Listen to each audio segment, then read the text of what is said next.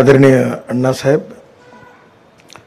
आदरणीय Shri V B Ramakrishna ji chairman Shri Subodh Kumar ji, Ashish Kumar, मंच पर उपस्थित सभी अतिथिगण और उपस्थित सभी भाई और बहनों। सबसे पहले मैं रामकृष्णन जी और उनके टीम को बहुत बहुत धन्यवाद दूँगा। कि उन्होंने भविष्य के तरफ़ देखते हुए एक बहुत इम्पोर्टेंट सेक्टर को एक्सेलरेट करने के लिए इनिशिएटिव भी लिया और सबको साथ में लाया। मैनेजमेंट का एक प्रिंसिपल होता है come together think together and work together problem यह है कि कौन क्या कर रहा है, एक दूसरे को पता नहीं है। तो ये जो प्लेटफॉर्म है, ये सबके अनुभव एक दूसरे को नई प्रेरणा देगा। टेक्नोलॉजी की जानकारी देगा और इसमें काम करने का कॉन्फिडेंस बढ़ाएगा। मैं एक्सपर्ट नहीं हूँ कंसल्टेंट नहीं हूँ, पर मैं कुछ बातें आपके सामने रखूँगा। तो वो आप उचित लगे तो कंसिडर करिए।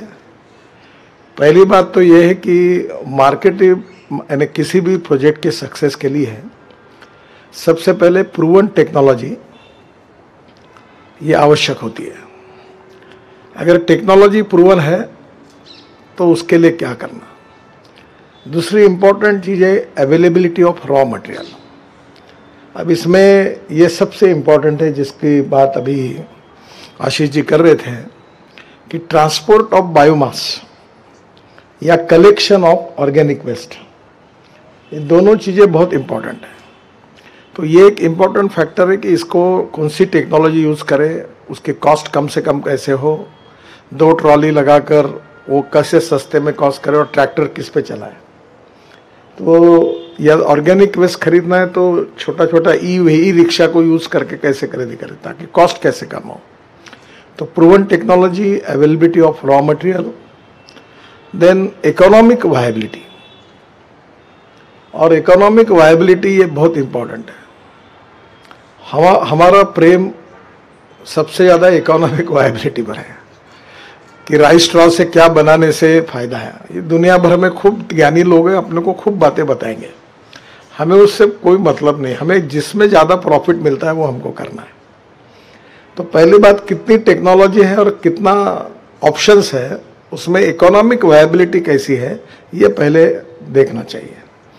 और चौथी बात है मार्केटेबिलिटी तो मुझे लगता है कि मैं, इसमें थोड़ा सा मैंने इनिशिएटिव लिया था।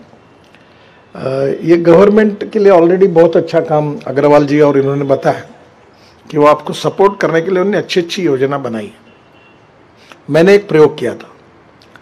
मैंने नागपुर में एक सीएनजी पंप शुरू किया और एक एलएनजी पंप शुरू किया। दो लोगों को बुलाकर शुरू करवाया। फिर कारपोरेशन की करीब सौ buses diesel to CNG convert की फिर मारुति की एजेंसी में सुजुकी की वो सीएनजी गाड़ियाँ आने लगी। और धीरे धीरे ट्रक कुछ छोटे व्हीकल सीएनजी में कन्वर्ट किया। मैंने अपना खुद का ट्रैक्टर सीएनजी पे कन्वर्ट किया। प्रॉब्लम आया कि यूक्रेन वॉर शुरू हो गई और जो फ़िलहाल जो एलएनजी मिलता था, उसमें बहुत प्रॉब्लम आया। अग्रवाल जी को पता है कि वो लोगों ने कभी मुझे भी ऐसा, मैं मुँह छुपाने लगा जिनको मैंने कहा कि तुम शुरू करो। तो और मैंने लोगों को कहा, अपनी गाड़ियों को कन्वर्ट करो। तो वो गैस स्टेशन पर गैस ही नहीं तो वो बेचारे क्या करें तो ये एक प्रॉब्लम आया। मेरा पहला सुझाव ऐसा है कि आप लोग ये इंटीग्रेटेड अप्रोच में जाइए। गैस बेचने के लफड़े में मत पड़िए। आप कंपनी को देंगे कंपनी लेगी नेचुरली वो उनका जो रेट होगा और मार्केट का रेट होगा, उसमें प्रॉफिट ऑफ़ मार्जिन में आखिर उनके भी एक्सपेंडिचर आने वाला है। तो पहली बात तो ऐसे है कि आप गैस स्टेशन भी आपका बनाइए। और दूसरा, truck, buses, car, tractor convert करने की किट्स अवेलेबल हैं। और मैंने प्रयोग किया नागपुर में, मैंने जिसको ये सब सिखाया, उसके पास सब आया। अब उसने अपने दस बीस डीलर अपॉइंट किए। और रोज उसका काम शुरू हो गया कन्वर्शन का, क्योंकि इकोनॉमिक वायबिलिटी थी। अब ये अगर नहीं आता यूक्रेन वॉर तो वो इतना फास्ट हो रहा था कि कोई प्रॉब्लम नहीं। तो पहली बात, आप आप मत करिए, पर आपके ग्रुप में कन्वर्शन काम करने वाली एक टीम चाहिए। अगर पंजाब में आपने, आप जैसे जहाँ से बायोमास ले रहे हैं, उसी ज़िले के ट्रैक्टर अगर आपने कन्वर्ट कर दिया और उसके गैस स्टेशन बना दिए तो आपका गैस लेने वाला वही मिल जाएगा।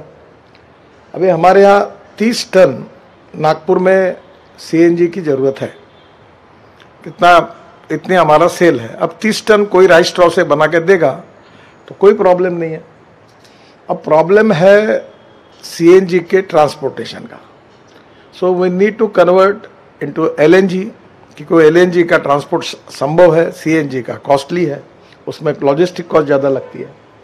तो आप स्वाभाविक रूप से हमें कन्वर्शन करने का भी काम अलग अलग लोगों का एक ग्रुप तैयार करेगी कन्वर्शन का काम एक कंपनी करेगी गैस स्टेशन का काम दो तीन हम शुरू करेंगे और हमारा गैस उनको देते जाएँगे। तो इंटीग्रेटेड इसमें जब डिपेंडेंस होता है तो प्रॉब्लम होता है। और इसमें मुझे लगता है कोई अड़चन अभी मैंने एलएनजी का एक स्टेशन शुरू किया।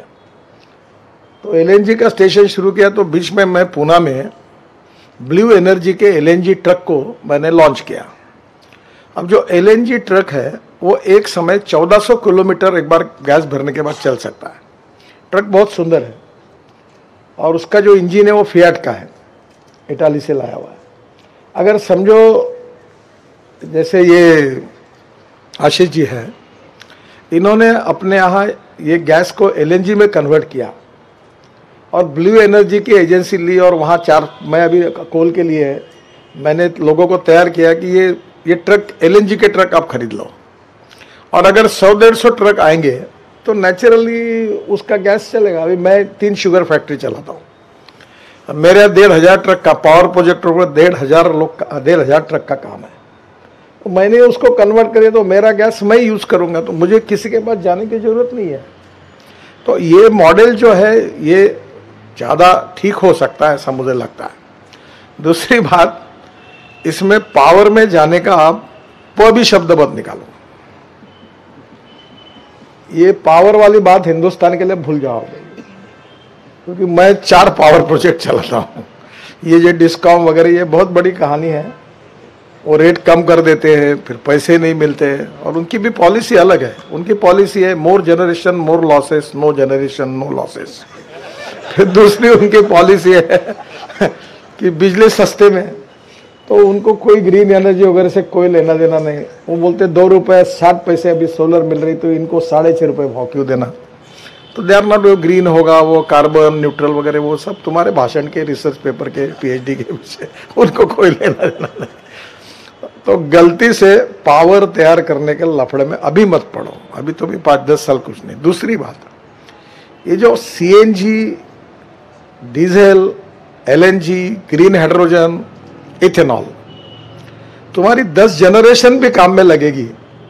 तुम्हारे जितना दम है उतना जमा लो। तभी इसमें मार्केट का कोई प्रॉब्लम नहीं अभी। अभी इथेनॉल में फ्लेक्स इंजन की गाड़ियाँ दिसंबर में लॉन्च करने की बात है तो टोयटो की पूरी गाड़ी आ रही। और कल ही मैं गया था सीआर के कार्यक्रम में तो सबके टू व्हीलर्स होंडा का, सबके मारो सुजुकी के, सब फ्लेक्स इंजन आए। अब पेट्रोल के जगह पर इथेनॉल अगर 100 परसेंट यूज़ होगा, और उसमें 40 परसेंट अगर इलेक्ट्रिसिटी तैयार होगी, और वो पच्चीस रुपये लीटर पेट्रोल का भाव आएगा तो मार्केट कर, लेने की मार्केट में मार्केटिंग करने की आवश्यकता ही नहीं है। अभी हाइड्रोजन की कीमत, कल मैं कोशिश कर रहा था, मेरा, मैं कोशिश करूँगी सीवेज वाटर और सॉलिड वेस्ट को सेग्रीगेट करने के लिए रूफटॉप सोलर पानी फुकट में। और ऊपर में रूपटॉप में सोलर दो रुपया चालीस पैसा यूनिट और जनरेटर सेट अभी किर्लोस्कर ने मुझे ही दिया है, पूरा हंड्रेड परसेंट इथेनॉल पर। और इथेनॉल का अभी एक हुआ है, दो चीज़ें आपको मैं बताना चाहता हूँ, और जो रामकृष्ण जी कोऑर्डिनेट करी है, कि इथेनॉल की जो एवरेज है in one litre of petrol equal to one litre three hundred M of ethanol तो मैंने इंडियन ऑयल को राम कुमार जी उनको, और मिनिस्टर साहब को इनको पता है वो रशिया से साइंटिस्ट बुलाए तो बुलाकर मैंने उनका प्रेजेंटेशन मेरे घर पर पेट्रोलियम सेक्रेटरी मंग मिनिस्टर वैद्य साहब और राम कुमार जी इनको दिया। तो मुझे उन्होंने ये कहा कि sir it's a very fantastic idea पर ये संभव नहीं है। तो मैंने हिंदी में उनको कहा, गाजर की पुंगी है, देखो, चाय पिलाओ इनको, देखो टेस्टिंग करो, होगा तो ठीक है नहीं तो खा लो, छोड़ दो विषय को।